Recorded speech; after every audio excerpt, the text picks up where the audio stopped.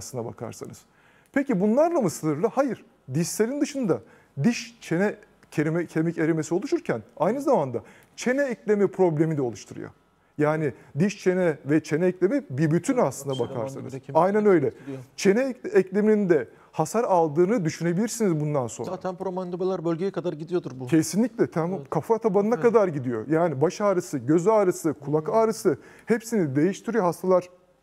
Kombin yapıyor. önemli. Bütün doktorları gezmeye başlıyorlar. Halbuki sorunlarınız burada yatıyor çoğunluğu.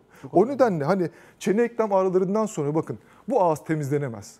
Çiğneme etkinliğini tam yapan ağız biyomekaniği itibariyle çiğneme etkinliğini yapan kendi kendini temizler. Bakın dişler tam eksiksiz yerini aldığı zaman diliniz, dudağınız, yanağınız hepsi birbirini o kadar güzel temizler ki sizin fırçalamaya isteğiniz en aza indirgenir. Plak taş birikiminiz en az olur. Siz diş taşı temizliği parlatmaya belki ihtiyacınız kalmayacak. Yalnızca diş hekimine kontrole gideceksiniz. Bunu istemez misiniz? Tabii herkesin istediği. yani ben de isterim açıkçası. Peki bu tür durumlarda devam edelim. Üst solunum yolu enfeksiyonları kaynağıdır. Plak taş birikiyor ya, bakteri birikiyor ya. Direkt bademcik iltihabı, faranjit, ondan sonra ses nodüllerinin enfeksiyonları. Devam edelim. Etkin çiğneme yapamayacaksınız. Mide bağırsak sistemini Tabii. etkiliyorsunuz. Gastrit, reflü, ülsere geçiyorsunuz. Ee, kalın bağırsaktaki konstipasyon dediğimiz kabızlığa geçiyorsunuz. Kalp iş yükünü artırıyorsunuz. Enfeksiyon odaklarından dolayı da kalpteki belki hani protetik kalp kapakçığı e, gi- giyen kişiler, e, takılmış olan kişilerin hasarına geç. Aslına bakarsanız hem hayat standartınızı çok düşürüyor hem de ömrünüzü kısaltma üzerinde bir sistem kuruyor. Dolayısıyla bizim istediğimiz şey şu.